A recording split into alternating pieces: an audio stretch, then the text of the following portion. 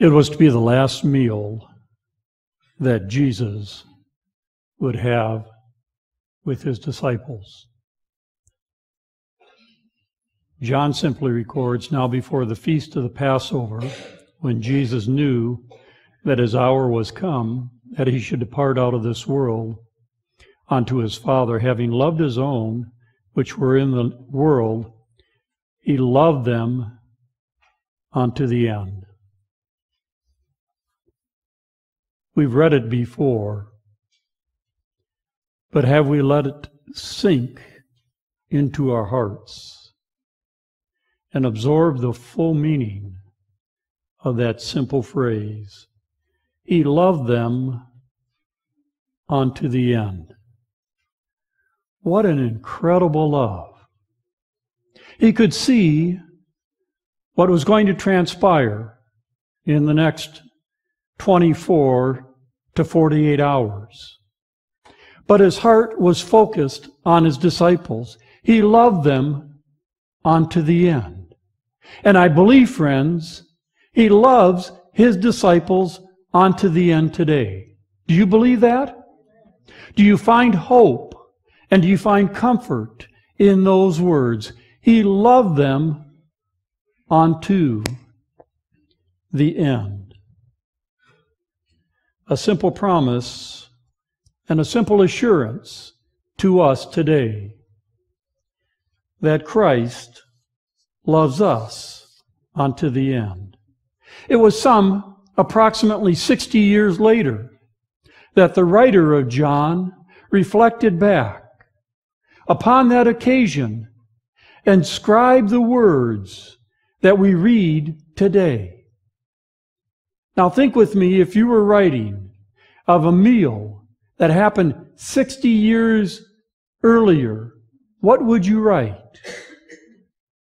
John simply wrote, He loved them unto the end.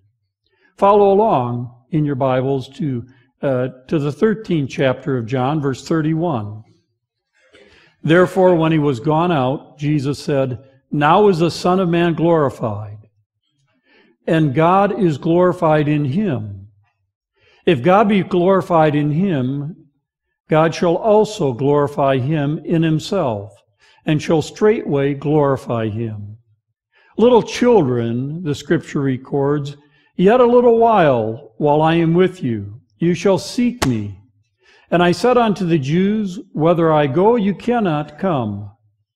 So now I say unto you, a new commandment I give you, that you love one another as I have loved you, that you also love one another. By this shall all men know that you are my disciples, if you shall have love one for another. It was Jesus' purpose to glorify his Father. And he was simply saying, that at this hour, the Father is going to glorify me, I am going to glorify him, and he is going to work through me, that glory might go to the Father. I like the address, the way he addresses his disciples, my little children. Know fully, be fully aware that this, at this time, I'm going to share with you just a few words that might burn in your hearts until I see you again. He says, I give you a new commandment that you love one another as I have loved you, that you also love one another. What does it mean in those few words, so concise? Jesus was trying to tell his disciples that we ought to love him and love one another as he loved us. A word that we so often use, that's so often misunderstood. What does it mean to love one another? Just three or four thoughts this morning. First, I'd like to suggest to you that love is proactive. Because Jesus says, a new commandment I give you. Not one that, not one that is at antithesis or opposite of the Ten Commandments, but one that expands it even further. Love is always proactive. The Ten Commandments, while having proactive features, tend to be ten prohibitions. And they tend to be passive statements designed to keep us out of trouble. When they say the speed limit is 65 miles an hour, and you shall not go 67 miles an hour on the interstate, or you will pay what is commonly called a penalty, sometimes referred to as a use tax, and some of you more frequently than others. That is a passive way of traveling safe, safely down the highway. The proactive way is to drive safely, and that's understood under 65 miles per hour. But love is proactive, not just passive. And it takes a proactive stance in living for Christ. Love is active. It is alive. It is to be experienced. It is sensitive. It is engaging and engaged upon. It is, um, it is expressed. Love must be embraced and flow from our lives into the lives of others, or it will never be love in its fullest. It may be a passive appreciation for the commands of God. It may be a passive love, but love unexpressed is hardly love at all. When you tell your spouse, I love you, at the altar and don't express it for 30 years later, and he or she is complaining and saying, I would like to hear those words again. And you respond, wait a minute, I told you 30 years ago, and if anything changes, I will let you know. And somehow, it's not enough. It's not enough to say, I'm a Christian, and everybody knows that I love them. Jesus said, it must be expressed. It must be embraced. It must be love that flows inside of your heart and expresses actively to those you come in contact with. The purpose of that love, just one other quick thought, the pers- purpose of that love that Jesus had with his Father and to his Father was to glorify, to glorify the Father. Love flows out and glorifies those which we love. Can you say amen? Oh, you guys remember what it was like. It may have been recently, or it may have been multiple decades. You saw her across the room, and you sought to get to know her name. Maybe warmly received at first, maybe you needed to work to get her attention, or maybe you needed to work to get his attention, as the case might have been. And as you struck up that conversation, all you could think about after a while was how you could become better acquainted and what, how much better your life would be and hers or his, as the case may be, if you would only seek to make their life better by glorifying them with your presence. You see, the linkage in love is to exalt someone other than yourself to glorify someone other than yourself. A loving relationship always looks to move beyond yourself into the life of the other. And love is not complete until it, ex- it is experienced and expressed in that fashion and in that way. Jesus was saying, You may love me, but I'm going to tell you, as a group of disciples, you have experienced my love, now go forth from this place and love one another as I have loved my Father. Love must be expressed, and love seeks to glorify somebody other than ourselves. Love also has two very quick characteristics that I would like to touch on just ever so briefly.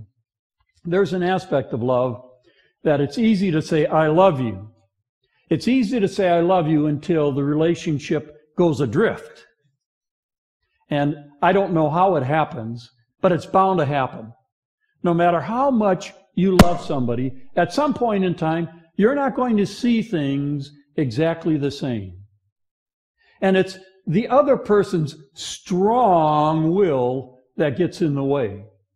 If only they could see the right way to do it, then they would understand and do it my way.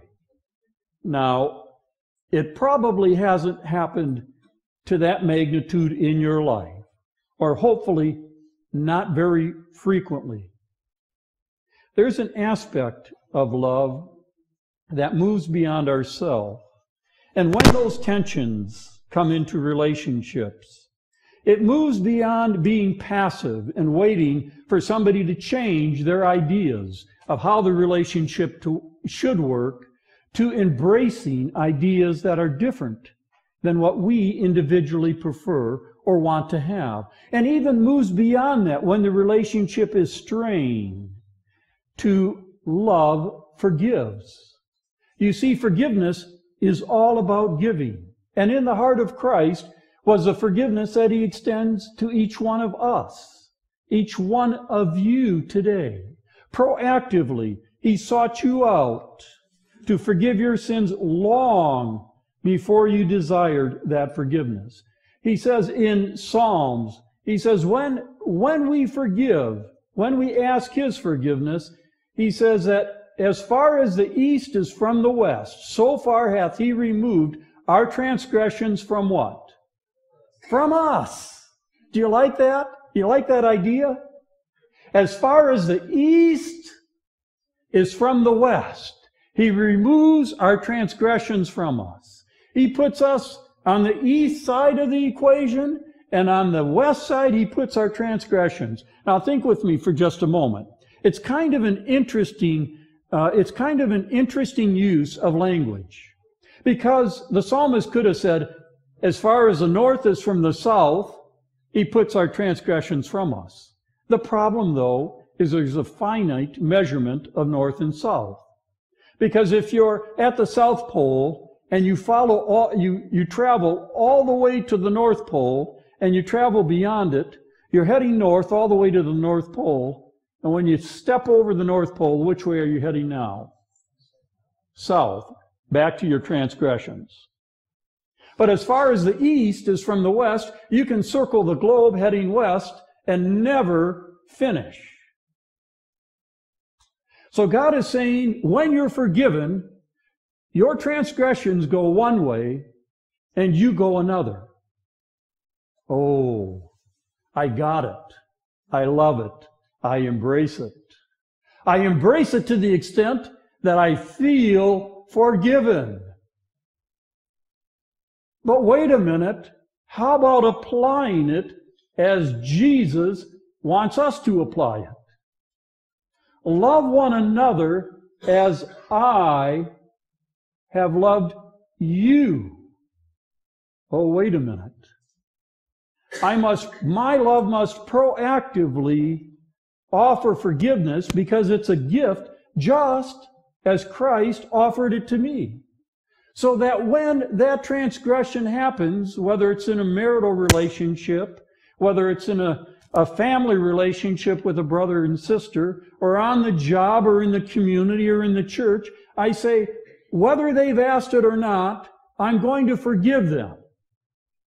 And I'm going to separate that transgression and the pain in our relationship. And I'm going to start over anew in my relationship with those individuals. They will know you are my disciples when you have love for one another. The last piece with love is that love humbly serves one another. It's an active verb. It doesn't wait. It serves when there's when there is a, a, when there is a need perceived, when there is a need expressed.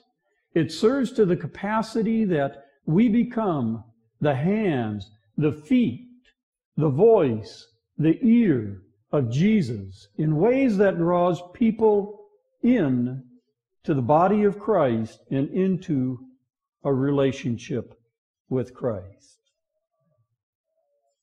So I would just ask, friends, as we partake in the, of the communion service today, that you would reflect on the words of Jesus. So often used, so easily understood, that 60 years later, as simple as they are, when they're fully manifested in our lives, our hearts and lives will be filled with a greater appreciation of God's love for us and our full expression of love for one another. For Jesus said, I would that you would love one another. May his love be made manifest as we partake in the communion service today. We will uh, we will separate at this time the locations for our foot washing service, which is a service of humility. The men will meet in the Sabbath school room B. As we leave the sanctuary, you'll just go down the diagonal to the classrooms. The ladies' room has been changed from the fireside room to classroom C, and the families will meet in the far end in the multi-purpose room. Seventh-day Adventists practice what is typically referred to as the ordinance of humility. As in the time of Christ, he washed his disciples' feet, we do so also as a symbol of humility in serving one another. If you'd like to care to participate and observe or participate, please uh, join the group that you'd like to.